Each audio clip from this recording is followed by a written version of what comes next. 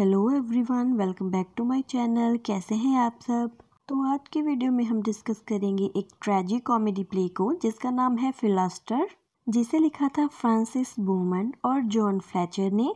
बोमन और फ्लैचर दोनों ही English dramatist थे और उन दोनों ने बहुत सारे वर्क्स कोलैबोरेट करके लिखे थे।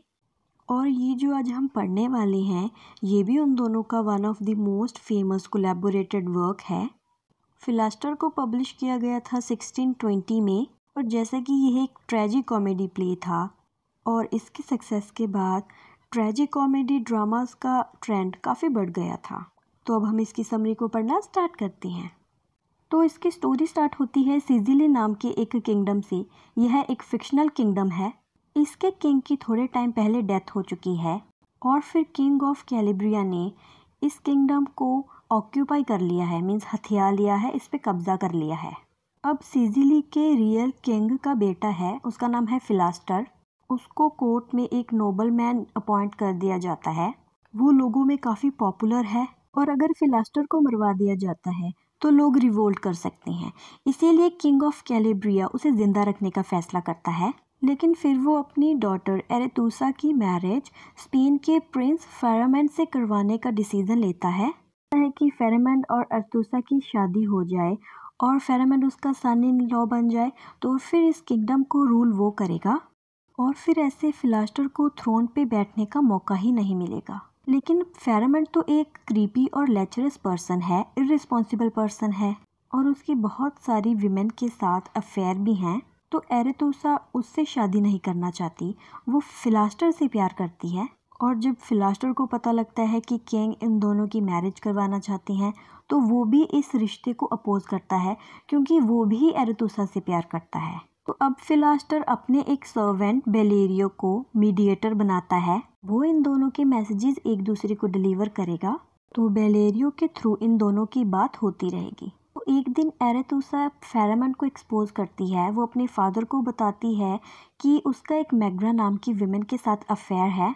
तो फिर एरेतुसा फेरमेंट के साथ अपनी एंगेजमेंट भी तोड़ देती है। तो फेरामेंट इस चीज़ से बहुत ह्यूमिलिएटेड फील करता है और एरेतूसा से बदला लेने के लिए वो सबको यह बता देता है कि उसका अफेयर उसके सर्वेंट बेलेरियो के साथ चल रहा है। बेलेरियो और एरेतूसा के अफेयर की बात फिलास्टर को सच लगती है और वो पूरी तरह से टूट जाता है। एरेतूसा को भी बहुत हर्ट होता है, लेकिन सबसे बुरा उसे इस बात का लगता है कि फिलास्टर ने उस पर यकीन ना करते हुए एक र्यूमर पे यकीन कर लिया। उसने बहुत इजीली इस बात पे बिलीव कर लिया कि एरेतूसा और बेलेरियो का अफेयर है। इस बात से दुखी एरेतूसा अपनी लाइफ को ख़त्म करना चाहती है, वो सुसाइड करना चाहती है।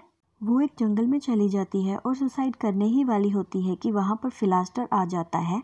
वो बहुत रोते हुए फिलास्टर से कहती है कि उस पर यकीन ना करके उसने बहुत गलत किया है। अब वो जीना नहीं चाहती तो फिलास्टर ही उसे मारते। इस तरफ़ फिलास्टर भी बहुत दुखी था, लेकिन उसे इस बात का गुस्सा ज़्यादा था कि एरेतुसा ने उसे धोखा दिया है बिट्रे किया है, और वो खुद भी जीना नहीं चाहता था। तो वो अपनी तलवार से पहले एरेतुसा पे अटैक करता है, फिर वो खुद को भी स्टैब करने ही वाला होता है कि एक पर्सन उसे देख लेता है। फिर वो वहाँ आता है और उसके हाथ से तलवार वगैरह छीनता है, उसे बचाने की कोशिश करता है।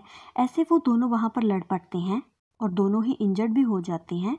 फिलास्टर फिर कैसे भी करके वहाँ से भाग जाता है और फिर वहाँ के लोग एरेतूसा को कोर्ट में ले आते हैं। अब फिलास्टर पे चार्जेस लगे हैं अटेम्प्ट टू मर्डर एरेतूसा और उसे सज़ा होने वाली होती है, लेकिन तब बेलेरियो वहाँ पर आ जाता है और फिलास्टर को बचाने के लिए और सबसे यह कहता है कि एरेतूसा पे अटैक फिलास्टर ने नहीं, मैंने किया है।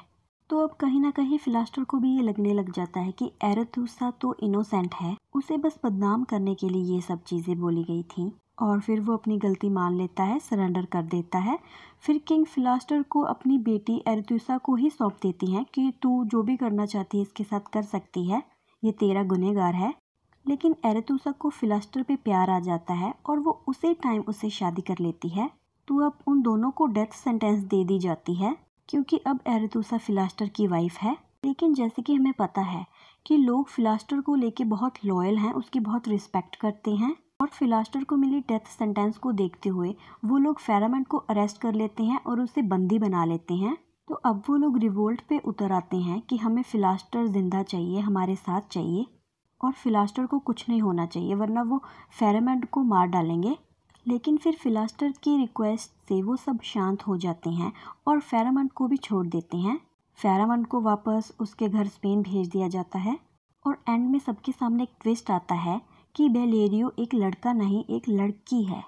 वो एक नोबलमैन की डॉटर है, जिसका रियल नेम है यूफ्रेज़ा, और वो सबको बताती है कि उसने एक मैन का रूप इसलिए लिया हुआ था क्योंकि वो भी फिलास्टर को पसंद करती थी और उसके साथ रहना चाहती थी, उसके नज़दीक रहना चाहती थी। इसीलिए वो उसकी सर्वेंट बेलेरियो बन के उसके साथ रह रही थी।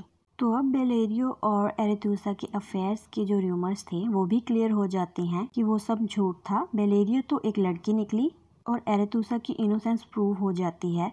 फिलास्टर उससे फिर से प्यार करने लग जाता है और उसे अपनी गलती का एहसास होता है। यूफरेजा की लॉयल्टी देखते हुए उसे लेडी इन वेटिंग की पोजीशन दी जाती है। अब एरेतूसा के father means king of Calabria भी फिलास्टर का बहुत बहुत शुक्रिया अदा करते हैं कि उसने लोगों की रिवोल्ट को शांत किया और फेरामेंट को स्पेन वापस भेज दिया। तो वो भी इस बात को समझ जाते हैं कि थ्रोन का राइटफुल एयर फिलास्टर ही है। और वो ही इस किंगडम को अच्छे से चला सकता है, क्योंकि वो लोगों में भी बहुत पॉपुलर है, इसलिए सब लोग उसकी बात मानते हैं। तो इन दी एंड फिलास्टर को सिंहासन दे दिया जाता है और वो सीजली का न्यू किंग बन जाता है। और ऐसे इस प्ले की हैप्पी एंडिंग हो जाती है। तो फ्रेंड्स अगर आपको इसकी स्टोरी इंटरेस्टिंग लगी हो तो प्लीज़ वीडियो को लाइक और मेरे चैनल को सब्सक्राइब कर देना because I really need your support तो अब हम मिलते हैं हमारी नेक्स्ट वीडियो में, तब तक के लिए take care guys bye bye